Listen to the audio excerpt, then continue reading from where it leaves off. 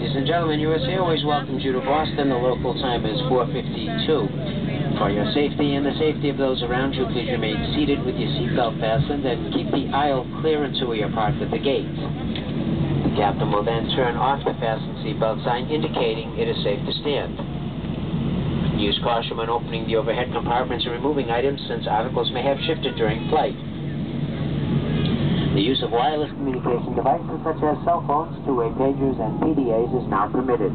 However, all other electronic devices must remain off and stowed until we have reached the gate and the captain has turned off the fasten seatbelt sign.